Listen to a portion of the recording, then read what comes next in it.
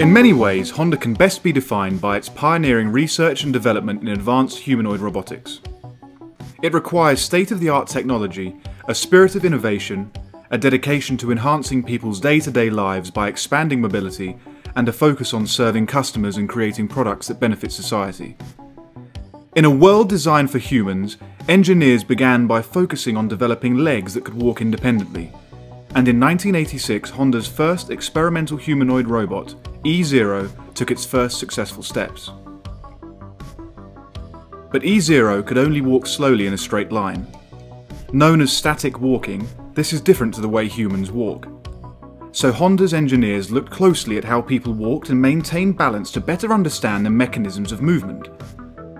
In their study, they found that when humans walk, they get just off balance, as if they were about to fall forward. This walking while falling is very difficult to simulate in a robot. In 1988, a breakthrough was made with the E2 experimental robot, and successive robots in the E-series made additional progress. However, all E-series robots lacked a torso, the engineer's next major challenge was to create a complete robot with a body as lightweight and efficient as possible. These efforts led to the introduction of P1 in 1993. P1 had a somewhat rugged appearance, but at last a humanoid robot had been created. In 1996, engineers reached a number of additional milestones in its second prototype humanoid robot, P2.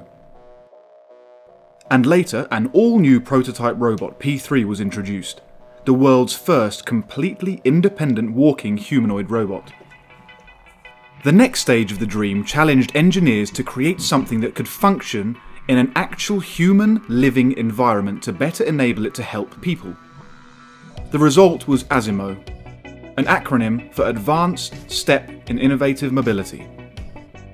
First introduced in 2000, ASIMO achieved better balance, was more nimble on its feet, featured a sleek, stylish design, and was capable of simple operations within a human living environment. ASIMO's height was an important strategic decision.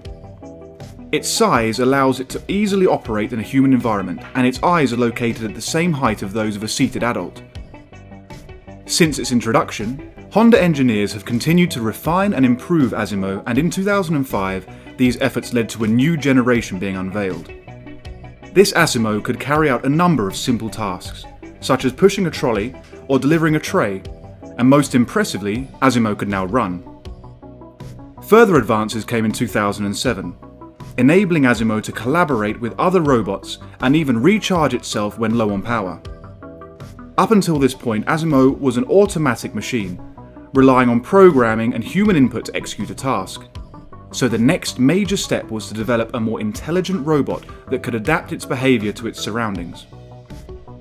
This scientific endeavour led to the latest generation of Honda's humanoid robot, the all-new ASIMO. Honda's engineers had now created a robot with a degree of autonomy, with an ability to make simple decisions all by itself. With multi-fingered hands, ASIMO could now also perform complex tasks requiring dexterity, such as opening a bottle, pouring a drink, and even expressing sign language. And equipped with stronger and more dynamic legs, it could also walk on uneven surfaces, run faster, run backwards, jump, and even hop on one leg. ASIMO heralds the beginning of an exciting future. Acting as a catalyst for further innovation, Honda engineers are exploring a number of technologies and next generation mobility products, all made possible from their pioneering research into humanoid robotics. From devices to help those with walking difficulties, to new forms of personal mobility, such as the Unicub. The development of ASIMO is opening up new frontiers. Much work still remains, but with ASIMO, Honda has truly taken an advanced step in innovative mobility.